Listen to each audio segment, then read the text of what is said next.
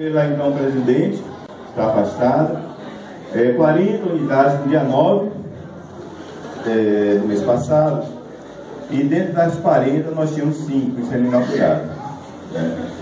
É, alguém me perguntou quantas unidades o reitor é, da, da UFBA perguntou quantas unidades nós estávamos entregando e eu dizia a ele 15% do que está sendo inaugurado. E nós temos hoje, o Instituto Federal da Bahia, é, dentro do estado, tem hoje 23 unidades.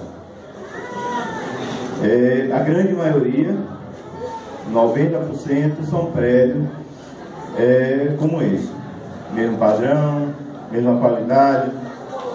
E a entrega desse patrimônio público à cidade de Santo Antônio e à cidade circunvizinha representa é, que estamos ofertando, enquanto servidores, um serviço de qualidade, uma educação pública gratuita, onde na formação profissional de nível básico ao nível superior, que esse campus é, inicia no 2017 os cursos superiores em tecnologia, mas já oferta desde antes do término dessa construção cursos técnico, subsequente é, profissionário para qualificação de servidores do Estado e do município, nas diversas áreas, que tem ofertado curso de formação inicial continuada, de alta tecnologia para pessoas de baixa escolaridade, operador de computador, é, produção de vídeo e imagem, livros para pessoas de baixa escolaridade, pessoas até que têm no mínimo o ensino básico. Então, essa escola ela já começa de forma diferenciada. Quando eu convidei a Edna é, para é, fazer a gestão desse campo, ser diretora, normalmente assim, é, quando eu convido alguém para assumir um cargo, né, eu não o chamo para assumir um cargo para receber uma gratificação. Eu estou chamando para cumprir uma missão. Né, e já começo dizendo quais são os caminhos árduos daquela missão que tem que ser cumprida. E eu dizia a ele assim: você tem que me surpreender. Né? É, e ela cumpriu o que eu pedi. Né? Então, esse campus é, é um exemplo disso. Ela veio para aqui, a obra ainda estava é, por acabar, muitas é, coisas a serem feitas. Né? Nós estamos num momento em que o pagamento é difícil, nós fazemos a dívida, mas o pagamento é difícil. E nós estamos aqui é, entregando esse patrimônio, é, que vai potencializar vidas. O que a educação faz é potencializar vidas. E o que essa escola faz é potencializar essa vida, é, vidas é, exponencialmente. A educação profissional ela, eu digo assim, nós não estamos é, prometendo emprego a ninguém. Nós não estamos dizendo que a pessoa que sair daqui no outro dia tem um emprego garantido, tem alguma coisa já certa. Mas ela tem toda a capacidade técnica e humana para transitar na vida, no mundo do trabalho, construir a sua história, construir a história do seu município de forma diferenciada. É isso que essa escola ela promete. As pessoas que entram aqui saem dessa forma. Essa instituição, ela vem crescendo ao longo da sua história e ofertando e transformando vidas. Nós dizemos assim, nós salvamos pessoas, não é nossa missão, nossa função é educar, mas nós salvamos pessoas da mão da marginalidade. Porque uma pessoa que entra aqui e que reconhece verdadeiramente a educação, que reconhece o potencial da educação, que reconhece o seu potencial enquanto ser humano, ele jamais vai cair na mão né, ou no canto de sereia das drogas. Ele não vai ser, não vai, vai ouvir né, as facilidades da vida, mas vai entender que é pelo trabalho que ele vai se realizar enquanto homem, enquanto mulher. Então é isso que essa escola faz. É isso que nós estamos é, entregando aqui. É essa oportunização de uma educação de qualidade. Para isso é necessário também que a comunidade, que a sociedade reclame isso a cada momento. Que venha para dentro da escola, que venha. Essa instituição, eu falava para o prefeito assim, está nas mãos da comunidade. Não é uma escola fechada, não deve ser uma escola fechada. O teatro, o, o, o ginásio, nossas salas de aula, né, está à disposição da sociedade. Que a escola pública venha utilizar o nosso ginásio, que venha utilizar é, os espaços nossos, que venha solicitar as qualificações, que venha buscar nesse campus né, é a colaboração que essa escola ela tem por obrigação de oferecer. Então, é isso que nós estamos aqui. Essa escola ela faz parte é, de um programa de expansão da educação federal. Em 2006, ainda, ainda no governo Lula, é, foi tomada a decisão de Estado brasileiro de investir na educação pública de qualidade, na educação federal. O Instituto Federal da então, Cefet, naquele momento, em 2006, tinha cinco campos. O primeiro de 1909, no que na cidade de Salvador, e os outros quatro de 1994. Barreira, aqui está a diretora, a professora de Silva, Vitória da Conquista, o professor Jaime, Valença, a professora Alba, e Eunápolis, o professor Fabio, estão aqui presentes. Depois, só houve expansão da rede a partir de 2006. Havia uma proibição do governo anterior, do FHC, da expansão da rede de educação profissional no país. O decreto 2208 de 97 proibia a expansão e o governo Lula, em 2004, quando assumiu, ele tirou, derrubou o decreto, criou uma nova legislação que permitiu a expansão da educação profissional. Em 2006, surgiu a primeira expansão da rede de educação profissional no país. O Instituto Federal da Bahia, que tinha quatro unidades em 2006, recebeu mais é, quatro unidades a unidade de Porto Seguro, a unidade de Santa Maria, a unidade de Camaçari e a unidade de Simões Filho. Passou de 5 unidades para 9 em 2006. Essas quatro unidades nós inauguramos em dois meses. Fizemos reformas em crédito, inauguramos em dois meses, porque havia uma eleição e nós tínhamos, é, que, tínhamos receio de um outro governo assumir e acabar a expansão. Nós inauguramos em dois meses. Professora Aurina a ex-reitora do Instituto. Em 2008, 2009, veio a segunda expansão da rede e esse Instituto recebeu a incumbência de construir sete unidades. Veio o campus Paulo Afonso, aqui está o diretor Arleno, veio o campo de, de Jequié, o professor Moab está aqui também presente, veio o campo de Seabra, o Robson está ali presente, o campus de Irecê, o Robério está por aqui também. Né? O de Feira de Santana, o Raigens é hoje o diretor. O de é, Jequié, já falei. Jacobina, professor Apabinones, esqueci de Apabinones, já vinha me perdoar. Né? E Ilhéus, o Tiago.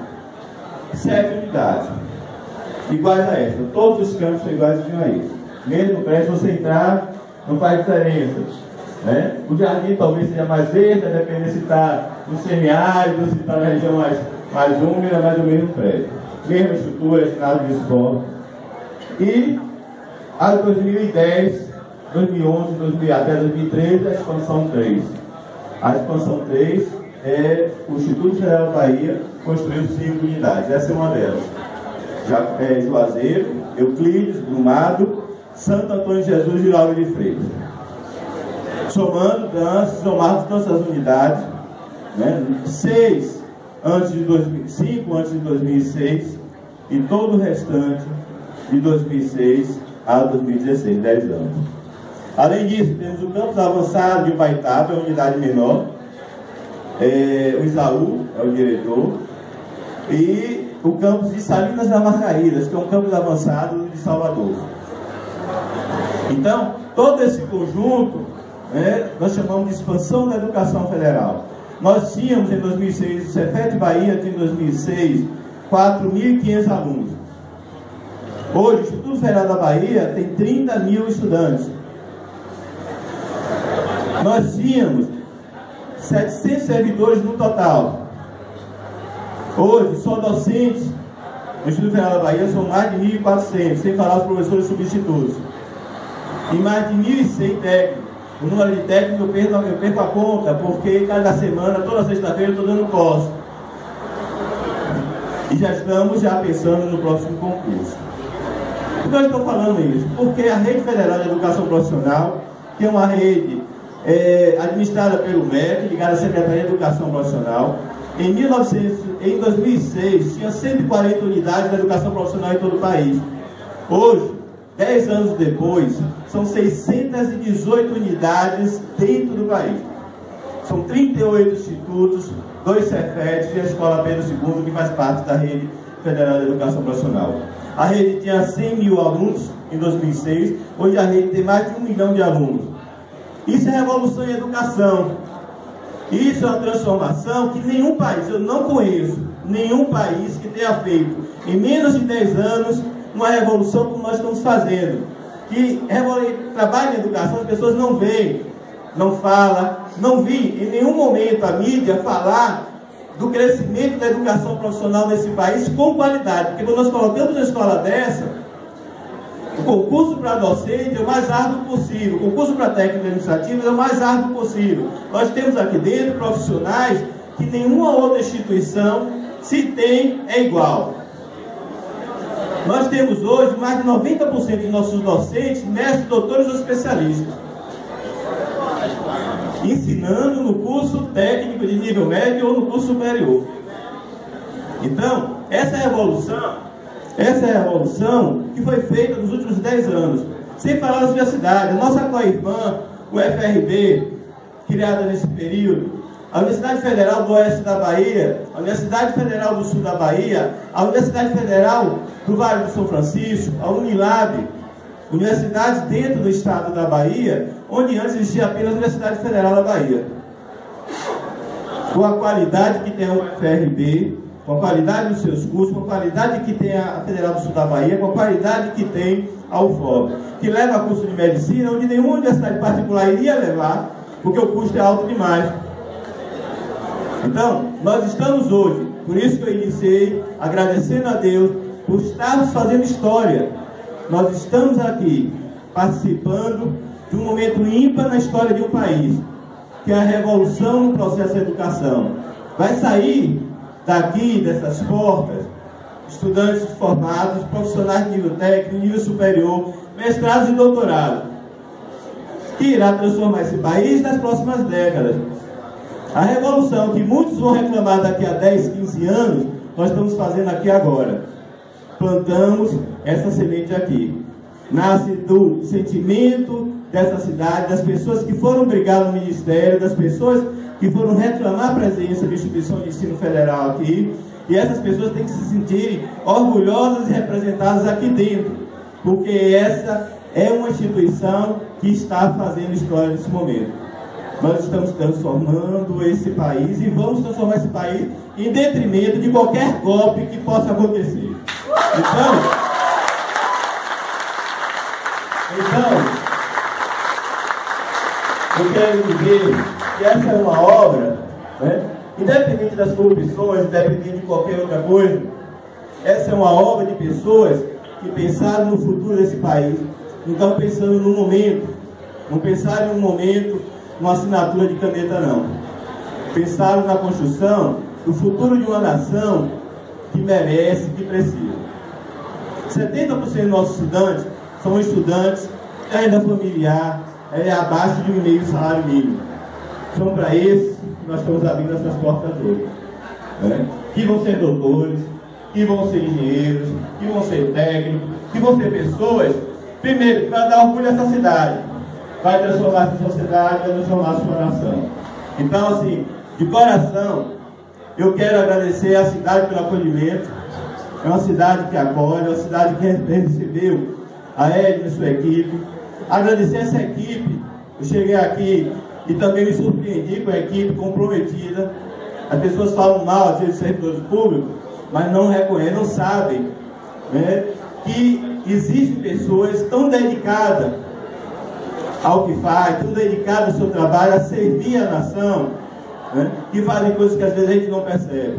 O carinho, o cuidado, né? e isso vai fazer a diferença aqui em outros campos. Quero é, agradecer às pessoas que, qualquer, de todas as formas, todas as formas contribuíram para a implantação é, desse campo. É, agradecer aqui aos corretores, a planejadora institucional, da qual a gente pega no pé para que é, cada detalhe esteja de acordo e que eles pegam no pé para que cada detalhe também esteja de acordo com as empreiteiras, a projetoria de ensino, que é, trabalha o tempo todo para ofertar uma educação de qualidade, a projetoria de administração, a projetoria de extensão, a projetoria de pesquisa e inovação, a diretoria sistêmica de tecnologia e informação, diretoria de comunicação, diretoria de gestão de pessoas, ou seja, toda essa equipe que está por trás é, desse momento que está aqui. E é, agradecer então a todos que eu mencionei, ou que eu não mencionei, a nossa co-irmã, a Federal do Recôncavo, que tem dado um apoio fantástico.